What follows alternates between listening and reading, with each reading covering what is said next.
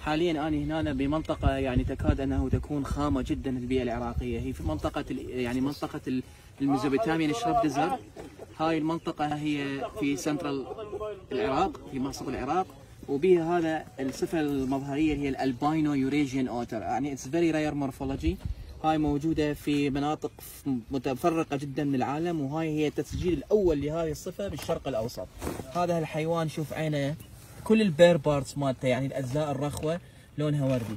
العين مالته لونها يكون أحمر لأن هاي آه، اصطفرة الألباينو أهم صفاتها وما يشوف الرؤية مالته جدا ضعيفة. والأظافر مالته لونها أبيض بما معنى أنه هاي الصبغة هي فاقدة لصبغة الميلانين السوداء. فهذا من أندر الطفرات من أهم الاكتشافات للبيئة العراقية. فيجب المحافظة عليه حاليا إحنا قرب ناحية الإسحاقي مع كلب الماء النادر الألباينو اللي هو كلب الماء الأوراسي أو يوروبيان يوريجيان أوتر الطفرة الألباينو. آه، طبعا أستاذ نصر وين أستاذ نصر؟ أستاذ نصر هو اللي لقى هذه الطفرة وهذه ال- ال- النوع النادر من من ال- الأوتر أو كلب الماء. وبمساعدة دكتور حسين اللي نشر هذا الفيديو آه، قدرنا إحنا يعني نلحق بأنه بمساعدة وزارة البيئة نحافظ على هذا النوع النادر وإن شاء الله راح يكون هنا بأمان لأنه هي هاي بيئته.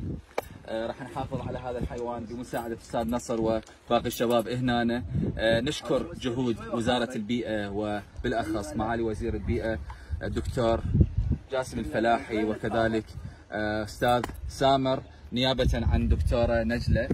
آه، وإن شاء الله هذا التسجيل آه، راح يكون تسجيل عالمي لأنه لحد الآن مسجلة مرتين هاي النوع من ال- الطفرة النادرة ليوريجيان اوتر اللي وحدة كانت ببريطانيا وهذه التسجيل الثاني أكيد بمساعده أستاذ نصر راح راح تكون يعني مسجلة إليه فخر فخر أكيد للعراق.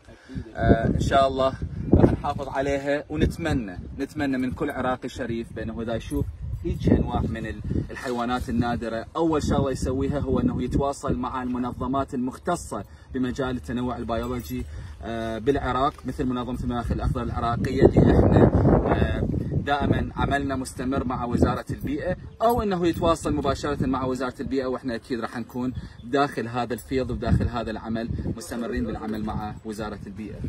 شكر خاص أكيد لدكتور عمر الشيخلي الخبير الأحيائي ال- الأول بالشرق الأوسط وهو ممثل ال IUCN الخاص للكلاب الماء آه، العالمية بالعالم.